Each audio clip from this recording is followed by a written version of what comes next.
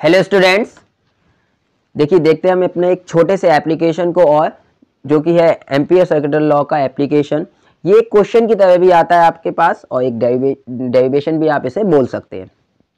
जिससे आपको बोल देगा कोई आपके पास कोई वायर है, जैसे इस तरीके से कोई इन्फाइनेट लेंथ का कोई वायर है, जिसमें करंट हमने मान ली सपोज़ कितनी आई फ्लो कर रही है। क्लियर तो थिक कंडक्टर है, ऐसे भी बोल दे magnet field due to a thick straight infinite current carrying wire wire बोल दीजिए या कोई कंडक्टर बोल देगा, वो आपसे, और बोलेगा किसी पॉइंट पी पर मतलब जो आउटसाइड लाई कर रहा है कंडक्टर के, वो। वहाँ पर आपको मैग्नेट फ़ील्ड फाइंड आउट करनी है। और एक कोई पॉइंट पी बोल देगा अगेन जो इनसाइड लाई कर रहा है किसी कंडक्टर के या वायर के, वहाँ पर मैग्नेटिक फ़ील्ड तो आपको दोनों पॉइंट पे मैग्नेटिक फ़ील्ड निकलवा लेगा आउटसाइड द वायर और इनसाइड द वायर किसी पॉइंट पर। क्लियर या फिर इन दोनों का रेशियो निकलवा लेता है तो कई तरीके से ये क्वेश्चन पूछा जाता है, काफ़ी इंपॉर्टेंट है तो समझते हैं, देखिए। एम्पियर सर्किटल लॉ का यूज़ करके आपको निकालना है। हमको पता है, जब हम एम्पियर सर्किटल लॉ यूज़ करते हैं, किसी भी पॉइंट पी पर सपोज़ हमने भी पहला केस मान लिया, हमें आउटसाइड फाइंड आउट करनी है मैग्नेटिक फ़ील्ड तो पी पॉइंट पर, जहाँ पे हमको मैग्नेटिक फ़ील्ड निकालनी होती है वहाँ से पास करते हुए एक एम्पियर लूप हम कंस्ट्रक्ट करते हैं, जैसे कि हमने यहाँ डॉटेड लाइन से कर दिया डॉटेड सर्किल से। तो ये हमारा एम्पियर एम्पीरियन लूप है। क्लियर अब आपको यहाँ पर मैग्नेटिक फ़ील्ड निकालनी है। इस पॉइंट पी पर तो हम एक छोटा सा लेंथ एलिमेंट डीएल मानते हैं। यहाँ पे आप छोटा सा लेंथ एलिमेंट डीएल कंसीडर करते हैं। एम्पियर सर्किटल लॉ हम जानते हैं क्या होता है। तो पहले हम यहाँ निकालेंगे। सपोज़ हमने मान लिया सेंटर से ये डिस्टेंस कितनी है इसकी? आर तो according to Ampere circuital law we know according to Ampere circuital law we know क्या होता है Ampere circuit integration of B dot D L is equal to mu naught times I enclose इसको हम बोलते हैं length इंटी length element या फिर line integral of magnetic field line integral of magnetic field is equal to mu naught times of total current inside the loop ये कहलाता है हमारा एम एम्पियर सर्किट लॉ इसका हमें यूज़ करना है। तो यहाँ पॉइंट पर हमने डीएल मान लिया है लेंथ एलिमेंट तो इसकी वजह से मैग्नेटिक फ़ील्ड के लिए हम ये लिख सकते हैं B dot D L equal to mu naught I close तो ये हमारा लूप है। तो यहाँ से अगर हम इसको देखिए करें A dot B is equal to हमें पता है ए बी कॉस थीटा होता है, ये डॉट प्रोडक्ट है बी और डी एल का तो हम इसको लिख सकते हैं, देखिए B D L cos theta cos theta की अगर हम बात करें तो डी एल और बी के बीच एंगल है। अब कॉस थीटा यहाँ से अब देखें तो थीटा यहाँ से देखिए क्या होता है, जो हम करंट जिस डायरेक्शन में होता है, उस डायरेक्शन में हम थम करते हैं, जो मैग्नेटिक फ़ील्ड की अगर हमें डायरेक्शन निकालनी हो, तब हम कैसे निकालते हैं? राइट हैंड थम रूल से। करंट की डायरेक्शन में हम थम करते हैं राइट हैंड का और फिंगर्स को चारों तरफ़ कंडक्टर के क्या कर देते हैं? कर्ल कर देते हैं। जैसा कि पहले डाइवेशन बताया तो आप इधर थम कीजिए राइट हैंड का और फिंगर्स आपकी इस तरीके से आएँगी। तो मैग्नेटिक फ़ील्ड इस पॉइंट पर अगर हम निकालें तो कैसी आएगी? आउटवर्ड डायरेक्शन में ऊपर की तरफ़। जो आप देख रहे हैं स्क्रीन इसमें ऊपर की तरफ़, क्योंकि करंट इस तरीके से मतलब जो मैग्नेटिक करंट इस तरीके से फ्लो कर रही राइट डायरेक्शन में तो आप थम इधर रखेंगे और फिंगर्स को जब कर्ल करेंगे तो आपकी फिंगर्स इस तरीके से घूमेंगी। तो ये आउटवर्ड डायरेक्शन मैग्नेटिक फ़ील्ड आएगी। अगेन जो लेंथ एलिमेंट की डायरेक्शन होती है, उसको वही हम करंट की डायरेक्शन में ले। तो करंट भी इसी डायरेक्शन में। तो डीएल और मैग्नेटिक फ़ील्ड दोनों के बीच एंगल क्या होगा? दोनों सेम डायरेक्शन में, ऊपर की डायरेक्शन में। तब जो एंगल होगा दोनों के बीच में कितना होगा? ज़ीरो होगा। तो यहाँ लिख सकते हैं cos zero equal to mu naught I enclose I enclose होता है एम्पीरियन लूप में जितनी करंट इनक्लोज है डेट मीन देखिए ये पूरा बड़ा लूप है तो इसमें से पूरी की पूरी करंट जो कंडक्टर में है, वो फ्लो कर रही है डेट मीन्स आई तो यहाँ हम लिख सकते हैं कितना आई अगेन अगर हम बात करें पूरे लूप के लिए, चाहे आप लेंथ एलिमेंट यहाँ माने यहाँ माने यहाँ माने, किसी भी पॉइंट पे आप कंसीडर करते हैं लेंथ एलिमेंट तो सब जगह मैग्नीफील्ड लगभग कांस्टेंट रहेगी क्योंकि डिस्टेंस भी सेम है तो बी को हम कांस्टेंट मान के बाहर ले लेते हैं। ये हम बोल सकते हैं जैसे डी एल कॉस ज़ीरो होता है one equal to mu naught I again आप बात करें डी एल तो इंटीग्रेशन का मतलब होता है समेशन डेट मीन्स आप सम कर दें D L D L D L जब आप मिलाएँगे पूरे लूप के लिए तो ये हमारी बनेगी सरकमफेंसेस आर रेडियस की क्या बनेगी? सरकमफेंसेस लेकिन आर है क्या? याद रखिए सेंटर से डिस्टेंस है किसी वायर के सेंटर से डिस्टेंस पॉइंट पी तक की। तो ये हमारी सरकमफेंस बनेगी, या फिर आप ऐसे समझते हैं डीएल को जब आप इंटीग्रेट करेंगे तो एल बनेगा, और एल हमारी क्या हो जाएगी? पूरी सरकमफेंसेस वो कितनी होगी? टू पाई आर या फिर ऐसे समझ लीजिए डी एल जब आप मिलाएँगे तो पूरी एक क्या बनेगी? ये सर्कमफेंस है तो हम इसको ऐसे लिख सकते हैं B into two pi small R equal to mu naught I तो B equal to mu naught I upon two pi R. तो ये हमारी मैग्नेटिक फ़ील्ड आई, जो कि आप यहाँ देख सकते हैं बी इन्वर्सली प्रोपोर्शनल है आर के। ये हमारा जो पॉइंट था, वो था आउटसाइड द वायर मतलब हमने पहले केस में निकाल ली आउटसाइड द वायर जो हमारी मैग्नेटिक फ़ील्ड आई, वो I mu naught I upon two pi R जो कि हम पहले ड्राइव भी कर चुके हैं। अगर हम इनसाइड की बात करें now case second case second if if point if point P lie inside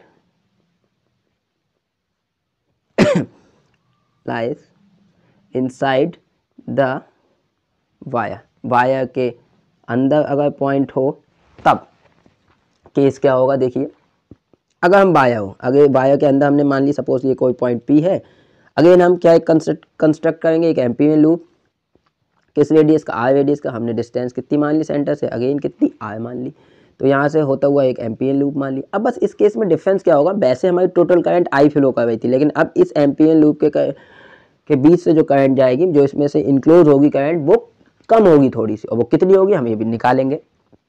clear तो यहाँ से देखिए, हम जानते हैं सिंस एम्पियर सर्किट लॉ क्या होता है? Since Ampere circuital law integration of B dot D L vector equal to mu naught I enclose clear again वही वी और dl के बीच दोनों सेम डायरेक्शन में होंगे मैग्नेटिक फ़ील्ड इस डायरेक्शन में और लेंथ एलिमेंट दोनों सेम डायरेक्शन में तो एंगल कितना होगा? ज़ीरो तो B D L cos zero equal to mu naught अब आई इनक्लोज आपको निकालनी है। देखिए आई इनक्लोज आप कैसे निकालेंगे? अगर मैं, ये देखिए, इसका एरिया मान लेता हूँ, ये इसकी जो रेडियस है, इसकी, इसको मैं मान लेता हूँ कैपिटल आर इसको क्या मान लेता हूँ? कैपिटल आर रेडियस या ए मान लेता हूँ सपोज़ कैपिटल ए है। तो इसकी रेडियस को मान लिया मैंने कैपिटल ए अब अगर मैं यहाँ से करंट पर यूनिट एरिया निकालूं इस वायर के लिए, इसके लिए निकालूं क्या? करंट पर यूनिट एरिया तो अगर मैं निकालूं current per unit area for wire तो यहाँ से current per unit area for wire हम लिख सकते देख करंट जो टोटल करंट अपॉन एरिया उसका क्रॉस सेक्शनल एरिया कितना होगा? पाई ए स्क्वायर क्योंकि रेडियस कितनी है?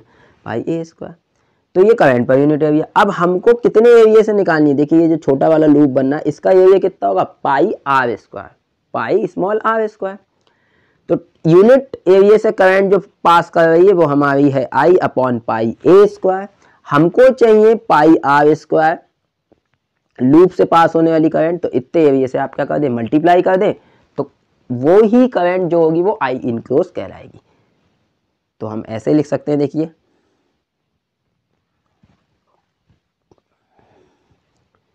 Current passing through loop of area pi small R square देखिए यूनिट एरिया से इतनी पास कर रही है तो इतने एरिया से क्या करेगी? Multiply that means equal to I upon pi A square into pi R square तो ये हमारी करंट हो गई। तो हम इसको लिख सकते हैं। तो आई इनक्लोज हमारी इतनी ही होगी तो यहाँ से हम लिख सकते हैं, देखिए क्या यूनिट एरिया से पास करने वाली current I upon pi A square multiplied by pi R square pi pi been cancel out यहाँ से देखिए मैग्नेटिक फ़ील्ड को हम क्या ले सकते हैं? कॉमन तो बी हमने बाहर ले लिया into D L equal to mu naught I small R square upon A square यहाँ से देखिए वी अब अगर हम डी एल डी एल को मिलाते हैं, यहाँ से देखिए समेशन होगा D L D L integrate करते हैं इस छोटे वाले लूप के लिए तो डी एल डी एल मिला के ये क्या बनेगी? सर्कम बनेगी इस छोटे वाले लूप के लिए तो इसको हम लिख सकते हैं टू पाई आर तो स्मॉल आर होगा यहाँ पे two pi R equal to mu naught I small R square upon capital A square यहाँ से देखिए एक आर एक आर कैंसिल हो जाएगा। तो यहाँ से कितना बचा? देखिए B equal to mu naught I R upon two pi A square देखिए इनसाइड अगर पॉइंट लाई करेगा तो हमारी जो मैग्नेटिक फ़ील्ड होगी, वो ये होगी। और यहाँ से आप देख सकते हो, जो मैग्नेटिक फ़ील्ड है, वो डायरेक्टली प्रोपोर्शनल टू आर है। मतलब स्मॉल आर मतलब डिस्टेंस के डायरेक्टली प्रोपोर्शनल है। वहाँ आपने देखा तो ऊपर वाले केस में वो इन्वर्सली प्रोपोर्शनल थी, क्योंकि ये सब देखिए कॉन्स्टेंट है। A square two pi mu naught I ये सब कॉन्स्टेंट है। यहाँ से मैग्नेटिक फ़ील्ड देखें तो स्मॉल आर के कैसी है? डायरेक्टली प्रोपोर्शनल उसी के अकॉर्डिंग हमारा देखिए ग्राफ है। अगर हम बात करें यहाँ से, जब पॉइंट सेंटर से सर्कम सेंटर से जब सर्कम तक जाएगा सरफेस तक जाएगा तो देखिए मैग्नेटिक फ़ील्ड जो पॉइंट है वो लाई करेगा इनसाइड तो मैग्नेटिक फ़ील्ड हमारी क्या होती है? डायरेक्टली प्रोपोर्शनल टू आर अभी हमने देखा, जब ये पॉइंट इनसाइड होगा तो मैग्नेटिक फ़ील्ड क्या होगी? डायरेक्टली प्रोपोर्शनल टू आर तब जो ग्राफ होगा डिस्टेंस और मैग्नेटिक फ़ील्ड के बीच वो कैसा होगा? स्ट्रेट लाइन क्योंकि डायरेक्टली प्रोपोर्शनल ग्राफ जैसे ही देखिए R is equal to A हो जाएगा। यहाँ पे मैग्नेटिक फ़ील्ड क्या उसी हो जाएगी मैक्सिमम अब सरफेस के बाहर जब पॉइंट आ जाएगा तो आउटसाइड वाला केस हो जाएगा। आउटसाइड में क्या होती है? इन्वर्सली प्रोपोर्शनल तब मैग्नेटिक फ़ील्ड का ग्राफ कैसा आएगा? इस तरीके से मैग्नेटिक फ़ील्ड क्या हो जाएगी? कम होना चालू हो जाएगी। मैग्नेटिक फ़ील्ड कैसी हो जाएगी? कम होना चालू। हो यहाँ देखिए स्मॉल आर स्क्वायर लिख गया बट यहाँ क्या होगा? गलती से यहाँ क्या होगा? केबल आर तो ये कुछ नहीं होगा। यहाँ जो मैग्नेटिक फ़ील्ड होगी वो इन्वर्सली प्रोपोर्शनल किसके होगी? स्मॉल आर के नॉट आर स्क्वायर के. क्लियर